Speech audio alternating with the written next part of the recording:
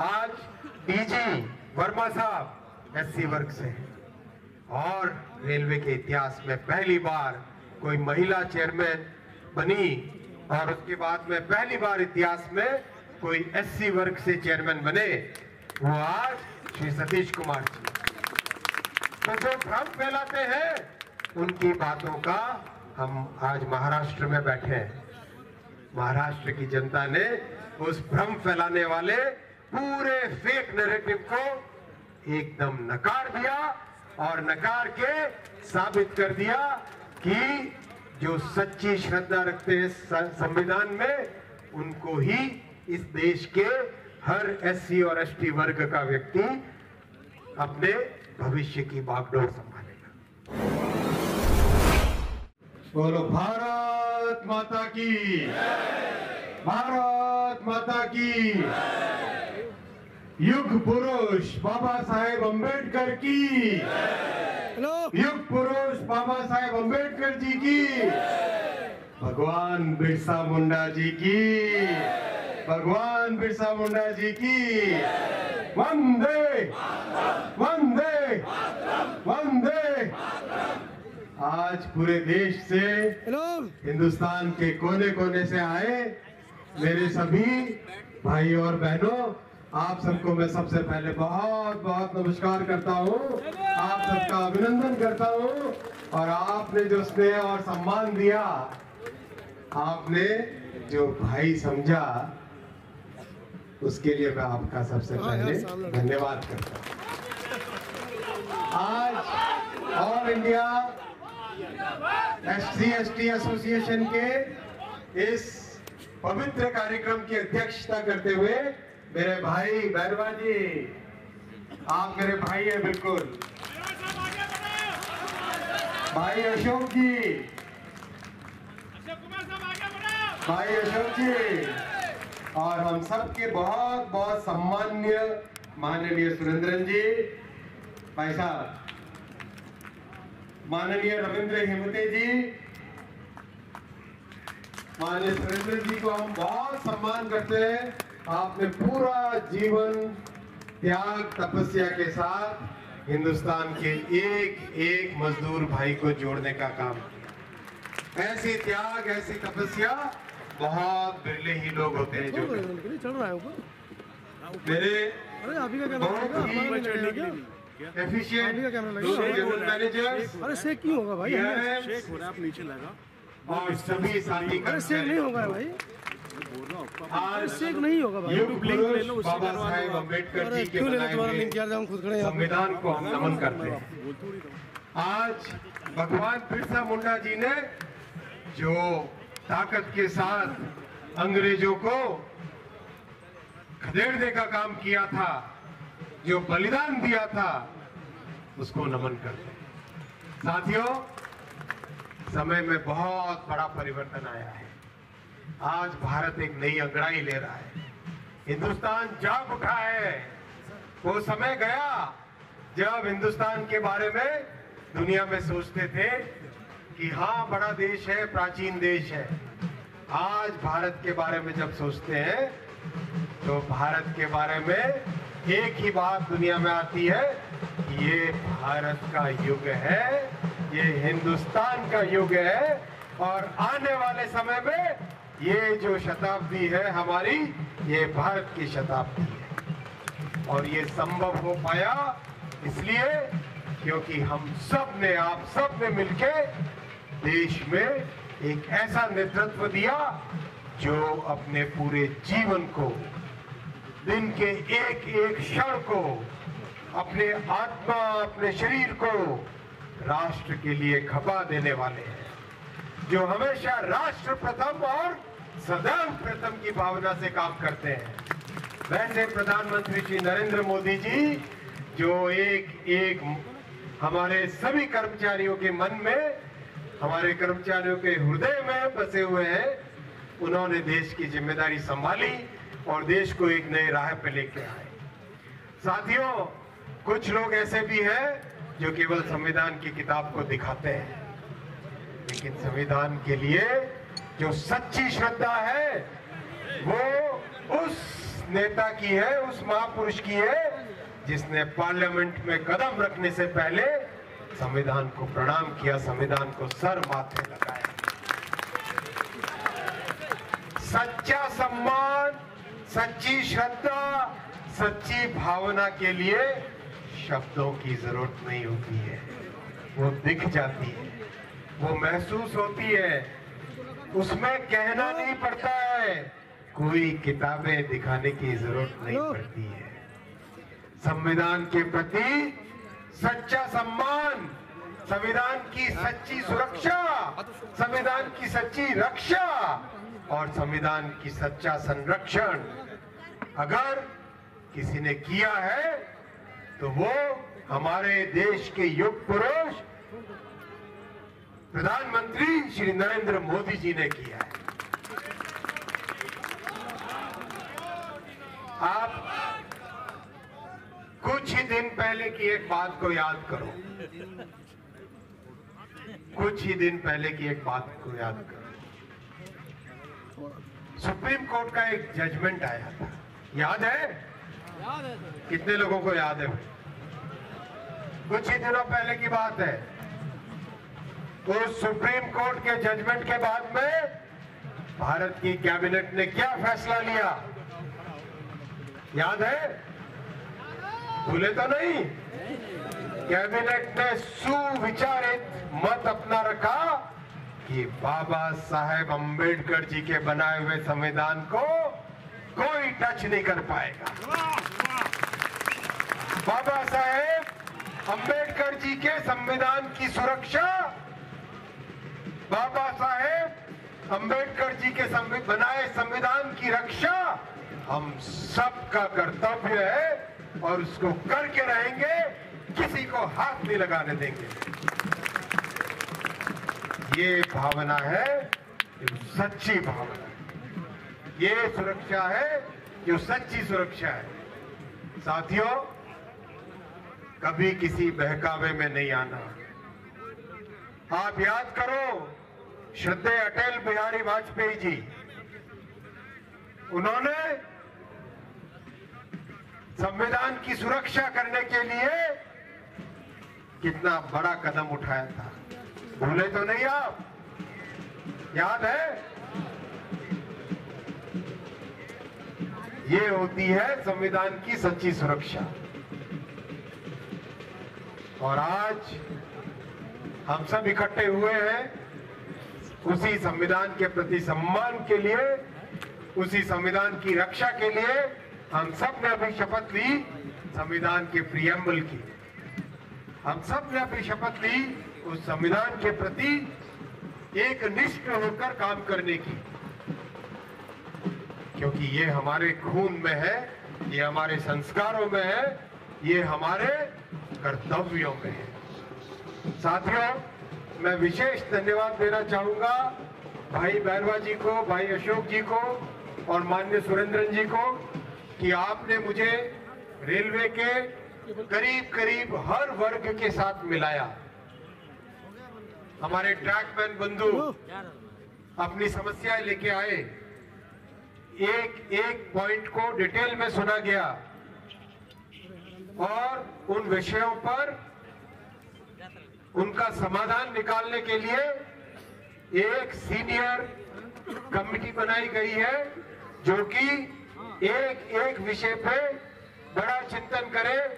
Trackman भाइयों के, trackman बहनों की बात को ढंग से सुने और सुन के समाधान लेके आए। ये ज़िम्मेदारी दी गई है। लोको पायलट भाई सभी बंधु आए। मैंने लोको पायलट बंधुओं से पूछा कि 2014 से पहले कितने रनिंग रूम में एयर कंडीशनर था? 2014 से पहले सारे के सारे रनिंग रूम में से एक भी रनिंग रूम में एसी की सुविधा नहीं थी। आज शत प्रतिशत रनिंग रूम में एसी की सुविधा है। साथियों ने बताया कि चार जोन ऐसे हैं जिसमें हमारे लोको पायलट्स को ज़्यादा दिक्कत आती है ड्यूटी के आवर्स के कारण। मैंने पर्सनली जनरल मैनेजर्स को फ़ोन किया। चेयरमैन साहब को ज़िम्मेदारी दी। एमटीआर साहब को ज़िम्मेदारी दी। और आज ईस्ट कोस्ट में South East Coast South East railway में साउथ ईस्ट सेंट्रल में और ईस्टर्न में और ईस्ट कोस्ट ईस्ट सेंट्रल में, जहाँ ज़्यादा समस्या थी वहाँ पे नए रनिंग रूम बनाए जा रहे हैं। वहाँ पे नई लॉबी बनाई जा रही है, जिससे कि हमारे लोको पायलट भाइयों को और लोको पायलट बहनों को ड्यूटी करने में कहीं कोई असुविधा नहीं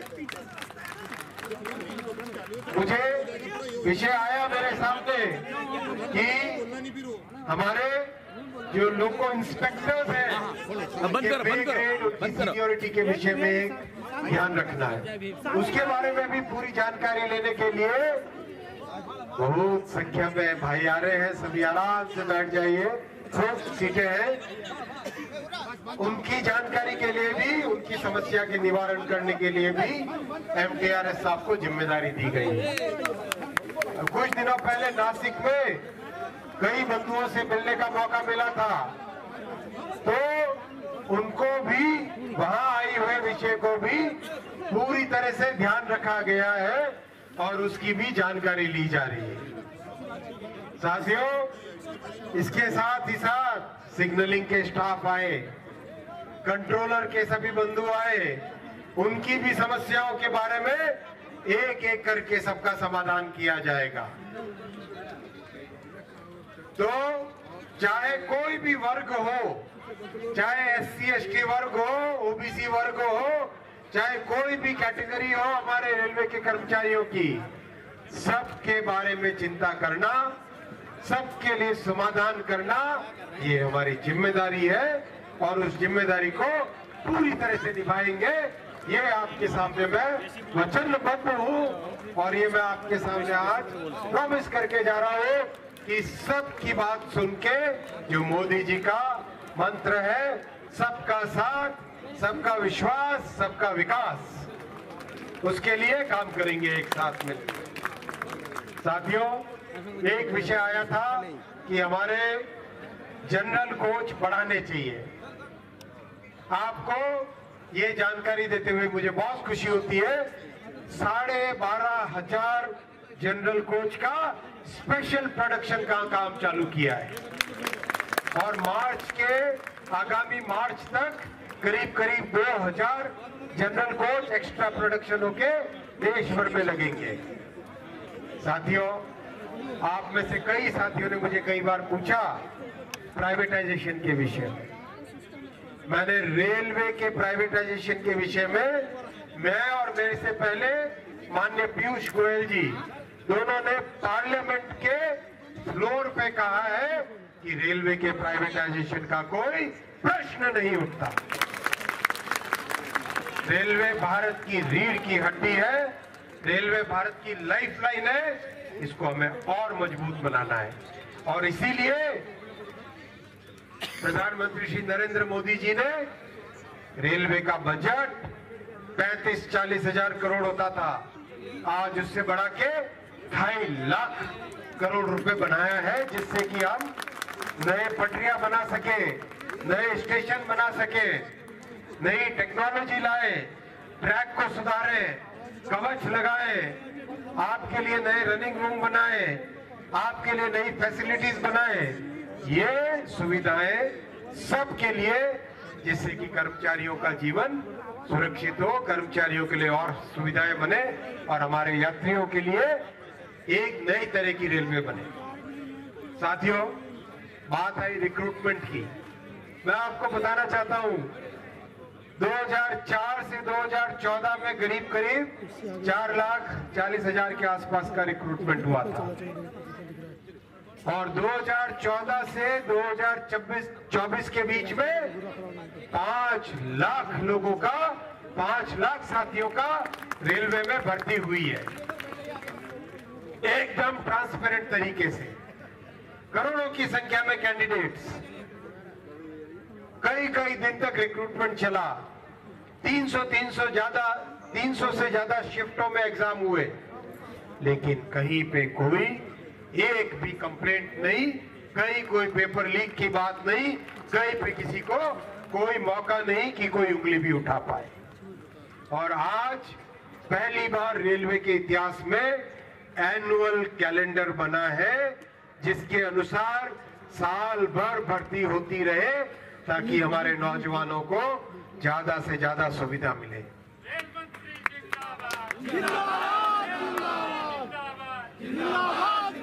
और आज जब हम सब मिले हुए हैं, आज करीब करीब पचास हज़ार पचास हज़ार भर्तियों पे रिक्रूटमेंट का काम चालू है। पचास हज़ार वैकेंसी कई ऐसे राजनीतिक दल हैं जो 2000 3000 के लिए पूरे पूरे न्यूज़पेपर का फुल पेज एडवर्टीजमेंट देते हैं। हम लोग काम में विश्वास करते हैं, मोदी जी की सरकार ज़मीन पे काम करने पे विश्वास करती है। तभी आप देखिए, असली असली परिवर्तन हमारे एससी और एसटी परिवारों में, हमारे ओबीसी परिवारों में आया तब जब हर गाँव गाँव में नल से जल पहुँचा। जब हर घर में टॉयलेट बने जब घर घर में माँ के आँसू पहुँचने के लिए यार कहाँ घूम रहे गैस का चूल्हा बना। रास्ते में लगाओगे तो क्या घूम रहे हो? जब पक्के घर बने चार करोड़। तब S C S T OBC परिवारों के जीवन में एक सच्चा बदलाव है। क्योंकि गरीब के घर में पैदा हुआ व्यक्ति ही गरीब के मन की व्यथा को समझ सकता है। और आज आप सबने आज पूरे देश ने एक गरीब के बेटे को देश का प्रधानमंत्री बनाया है। सच्ची श्रद्धा एस सी एस टी और ओबीसी वर्ग के बारे में अगर देखो तो आज आपके सामने दो उदाहरण है। भारत के सर्वोच्च पद पर उड़ीसा के छोटे से गाँव की एक एसटी बेटी, आज भारत की महामहिम राष्ट्रपति है। इनसे पहले एससी वर्ग से श्री रामनाथ कोविंद जी राष्ट्रपति। आप मुझे बताओ युग पुरुष बाबा साहेब के बाद में वर्षों बीत गए। कोई लॉ मिनिस्टर कभी एससी या एसटी वर्ग से क्या समाज के लिए? कई राजनीतिक दलों ने देश की ज़िम्मेदारी संभाली और विशेषकर एक परिवार ने देश की ज़िम्मेदारी संभाली। लेकिन कभी एससी और एसटी वर्ग से लॉ मिनिस्टर नहीं बनाया।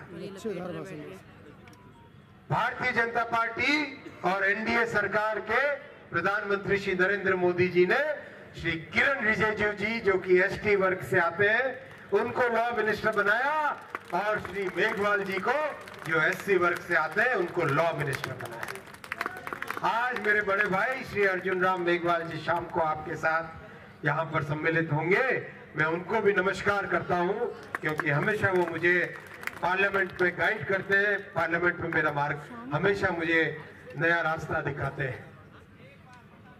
ये सच्ची श्रद्धा होती है। रेलवे बोर्ड में member Shri R N Sunkar ji SC वर्ग से थे। आज डीजी वर्मा साहब एससी वर्ग से हैं। और रेलवे के इतिहास में पहली बार कोई महिला चेयरमैन बनी। और उसके बाद में पहली बार इतिहास में कोई एससी वर्ग से चेयरमैन बने, वो आज श्री सतीश कुमार जी। तो जो भ्रम फैलाते हैं, उनकी बातों का हम आज महाराष्ट्र में बैठे हैं। महाराष्ट्र की जनता ने उस भ्रम फैलाने वाले पूरे फेक नैरेटिव को एकदम नकार दिया और नकार के साबित कर दिया कि जो सच्ची श्रद्धा रखते हैं संविधान में, उनको ही इस देश के हर एससी और एसटी वर्ग का व्यक्ति अपने भविष्य की बागडोर संभालेगा। यही आज आपके सामने भी मैं निवेदन करने आया हूँ। इस बात को नहीं भूलिएगा। इस बात को याद रखिएगा कि जो सच्चे मन से एससी, एसटी वर्ग के साथ, ओबीसी वर्ग के साथ गरीबों के साथ, वंचितों के साथ खड़े हैं, जो उनके जीवन में परिवर्तन लाने के लिए प्रयासरत है, जो महिलाओं के जीवन में परिवर्तन लाने के लिए प्रयासरत है, ऐसे लोगों के साथ खड़े रहने में ही देश का कल्याण है। ये मेरा आप सबसे निवेदन है। मैं साथियों मैं साथियों, आपको एक और निवेदन करना चाहूँगा। हम सब के सब देश की रेलवे, देश की लाइफलाइन है। और आज इस लाइफलाइन पे कई लोग बहुत ही सुनियोजित तरीके से अटैक कर रहे हैं। आपकी जानकारी में है। आप सब फ़ील्ड में मेरे से अधिक देखते हो। मेरा निवेदन है इस समय में हम 12 लाख कर्मचारी और 12 लाख रेलवे के परिवार के सदस्य एकदम एकजुट हो जाए। कहीं से भी कोई भी अगर ताकत रेलवे के ऊपर अटैक करने की कोशिश करे तो उन सब ताकतों को हम मिलकर करारा जवाब देंगे। किसी की हिम्मत न हो पाए कि रेलवे पे एक पत्थर भी डाले या रेलवे ट्रैक पे कोई एक गैस का सिलेंडर लेके आए, ऐसी चौकन, ऐसा चौकन्ना हमारा व्यवहार रहेगा। एक एक पॉइंट और क्रॉसिंग के लिए हम इंस्पेक्शन में जान दे हम एक एक सिग्नल की रिलायबिलिटी के लिए अपना पूरा खून पसीना बहाएँगे तैयार हो इतनी मेहनत के लिए? तैयार हो। तो मुट्ठी बांधो। मुट्ठी बांधो। बोलो भारत